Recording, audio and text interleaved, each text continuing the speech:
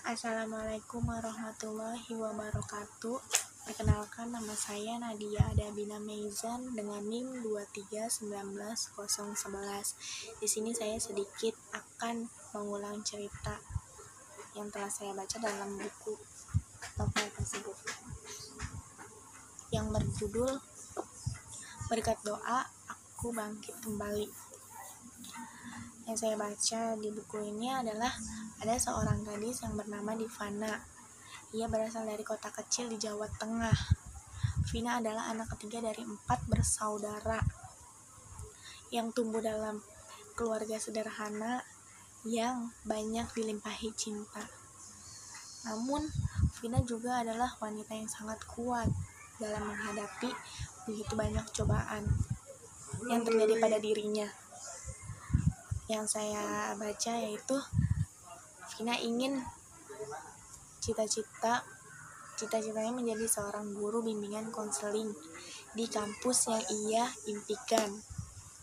Namun, Vina juga uh, memiliki banyak uh, aktif dalam berprestasi, yaitu uh, berprestasi menulis dalam koran kampus, majalah remaja terus uh, Vina juga mengikuti UKM bahasa Inggris di kampus dan senat di kampusnya.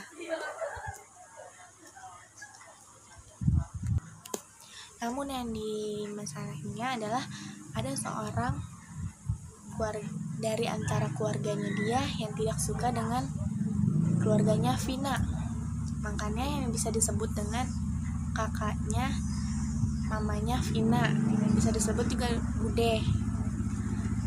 E, dalam berbagai cara Bude lakuin untuk mengirim berbagai macam keanehan dalam keluarganya Vina.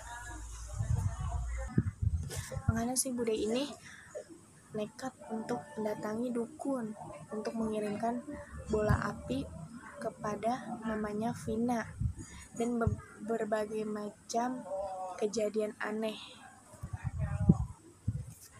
Namun pada saat itu Bude mendatangi keluarga ke rumahnya Vina untuk meminta maaf atas kesalahan yang dia perbuat. Uh, mungkin Bude ini uh, karena dia iri dengan keluarganya Vina. Setelah Bude meminta maaf kepada keluarganya Vina, maka kehidupan Vina selanjutnya akan berjalan dengan normal atas atas izin Allah. Vina berterima kasih kepada orang terdekat yang telah membantukan Vina.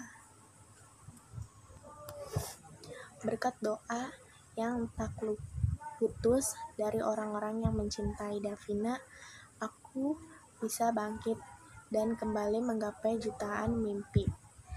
Sekian dari saya kurang lebihnya mohon maaf. Wabillahi wabillahi taufiq wal hidayah. Wassalamualaikum warahmatullahi wabarakatuh